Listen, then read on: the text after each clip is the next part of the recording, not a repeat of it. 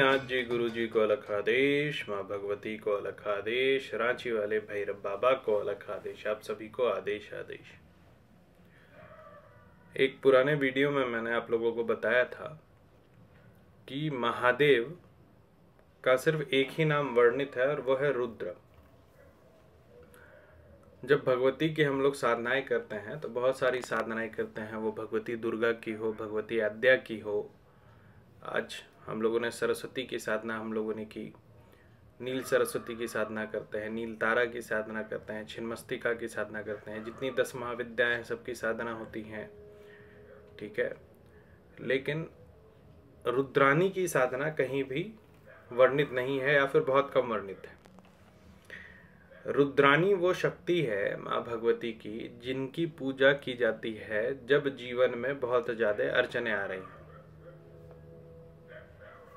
हर एक भगवती, हर एक देवता, जिसका मंत्र सनातन धर्म में बताया गया है, उसके पीछे एक कारण बताया गया है कि इनकी अमुख देवी देवता की साधना क्यों होगी। तो रुद्रानी की साधना मूल रूप से शक्ति ऊर्जा तो होती ही है, क्योंकि रुद्रानी है, लेकिन इसके साथ साथ रुद्रानी की साधना होती है कि आपके जीवन में जो भी संघर्ष है, वो खत्म हो जाए, ठीक है? संसार का जो माया आपको बाँध रहा है और उसमें आपको फंसा रहा है, उससे आपको रुद्रानी मुक्त करती है। तो रुद्रानी की साधना कैसे करते हैं? रुद्रानी की साधना नौ दिन की होगी। अगर किसी विशेष आप समस्या को लेकर के साधना कर रहे हैं और नहीं तो फिर सीधे मंत्र का जाप करेंगे। तो अगर आपको कोई समस्या है, उसके लिए आप साधना कर रहे हैं तो सर्वप्रथम एक कलश हम लोग बैठाएँगे। कलश के नीचे चावल रखेंगे। और चावल के चारों तरफ़ चावल को पीस के, ठीक है, पानी मतलब भीगा हुआ चावल, उसको पीस के और एक सर्कल बनाएँगे उसके चारों तरफ़। उस सर्कल पर आठों दिशाओं में रोली लगाएँगे, ठीक है? उसके बाद उसके ऊपर मिट्टी का कलश लगाएँगे, रखेंगे। उस मिट्टी के कलश पर भी आप चावल का लेप करेंगे, ठीक है? उसके बाद उसमें थोड़ा गंगा जल डालेंगे, फिर जल डालेंगे। फिर उसमें एक पान, एक सुपारी, एक द्रव्य इतना रख के उसको ढक देंगे, मिट्टी के ढक्कन से। फिर उस पर चावल रखेंगे और फिर उसके ऊपर एक नारियल रखेंगे लाल कपड़े में लपेट के। ये जो आप रखेंगे नारियल, इसको आप ईस्ट वेस्ट डायरेक्शन में रखेंगे, ठीक है? आप पूजा किसी भी डायरेक्शन में करो, इसका दिशा हमेशा ईस्ट वेस्ट होना चाहिए, ठीक है? साउथ कभी नहीं होना चाहिए इसका दिशा। इतना करने के बाद लाल फल से भगवती का नवेद हो ठीक है? और जो भी आपको नवेद देना है वो गंध के रूप में, मैं रक्त चंदन या चंदन आप रखें, चंदन और रक्त चंदन को मिला के बना लें, ठीक है? नवेद हो गया। घी का दीपक जलेगा, धूप जलेगा, और भगवती को जो आप नौ दिन साधना करेंगे, जिस दिन से आप संकल्प लेंगे, नौ दिन आप वस्त्र समर्पित करेंगे। उसके अलावा पुष्प है तो भगवती को अड़हुल का फूल और लाल गुलाब का फूल चढ़ता है। शुरुआत कैसे करेंगे पूजा की? तो सबसे पहले जैसा बताया आप लोगों को, वैसे कलश आप स्थापित कर लेंगे, ठीक है? जब आप कलश स्थापित करेंगे तो आप मंत्र बोलेंगे मतलब कलश में हाथ लगा के मंत्र बोलेंगे, स्परहीम स्परहीम किटी किटी क्या बोलेंगे? स्परहीम स्परहीम किटी किटी ठीक है? इसको करने के बाद आप दीपक प्रज्वलित करेंगे, ठीक है? दीपक प्रज्वलित करने का क्या मंत्र है? काम, इम, ओम, माँ के कल्याणी। क्या दीपक प्रज्वलित कर रहे हैं? तो बोलेंगे, काम ईम ओम, माँ के कल्याणी। ठीक है? दीपक प्रज्वलित कर लिया, फिर धूप प्रज्वलित कर लिया। ठीक है? नवेद दे दिया भगवती को। गंध समर्पित कर दिया, पुष्प समर्पित कर दिया। इसमें पुष्प जो है, वो वज्र मुद्रा में देते हैं। वज्र मुद्रा क्या होता है कि जो बीच के तीनों तीनों उंगलियाँ हैं, इनको एक दूसरे में इंटरलॉक कर लीजिए। थम को थम से सटाइए और जो दोनों लिटिल फिंगर आपस में सटते हैं, उससे पुष्प को उठा करके फिर भगवती को समर्पित करते हैं।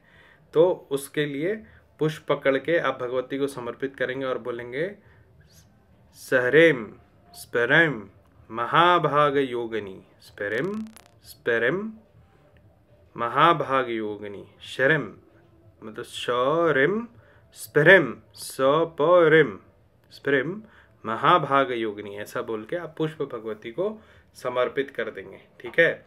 उसके बाद 108 बार या 1008 बार भगवती का मूल मंत्र जपेंगे। क्या है भगवती का मूल मंत्र?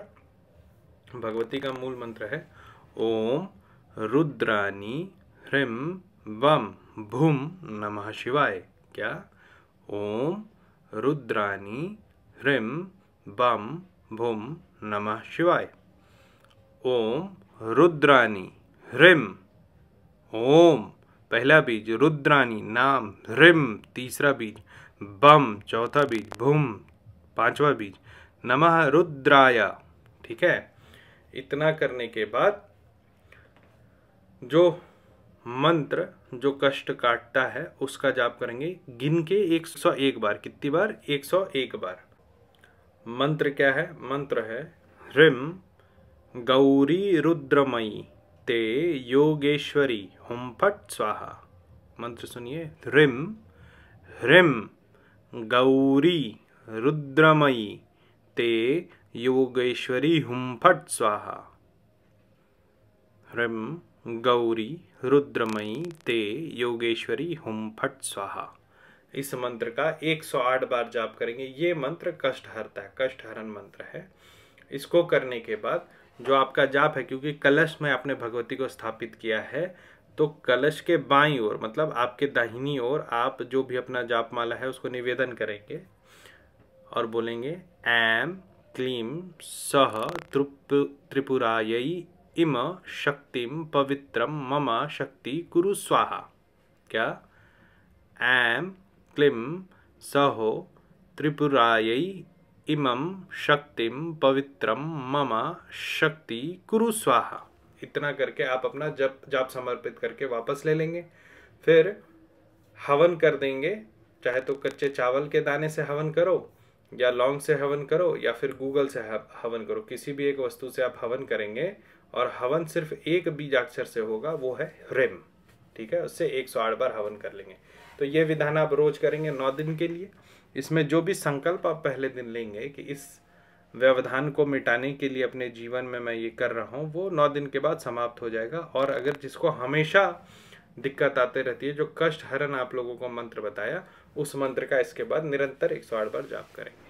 आज के लिए आज के लिए इतना ही जिनको पेड पेड व्हाट्सएप ग्रुप से जुड़ना है वो मेरे number nine four nine four three one one eight eight five eight five पर मैसेज करके जो भी साधना का शुरुआती आयाम है इसमें जो साधना का शुरुआती विधान है वो मैं आपको डायरेक्ट बात करने के लिए कॉल मी फॉर ऐप है उस जिनको डायरेक्ट बात करना है कॉल मी फॉर ऐप पर चाहिए उस पर Rudranath at C M four call me for app पे मेरा अपना प्रोफ़ाइल फोर सर्च पर आपको आपको डायरेक्ट बात कर सकते जो ज्ञान ज्ञानवर्धक जानकारी चाहते हैं वो मेरे वेबसाइट वेबसाइट www.com पर लॉग इन मेरा और मेरे जैसे कई साधकों का जो लेख मिलेंगे थॉट प्रोसेस है जो आर्टिकल्स है वो इसमें हम पब्लिश करते हैं। समृद्ध बनाए आप सभी आप सभी को आदेश आदेश आदेश आदेश आदेश।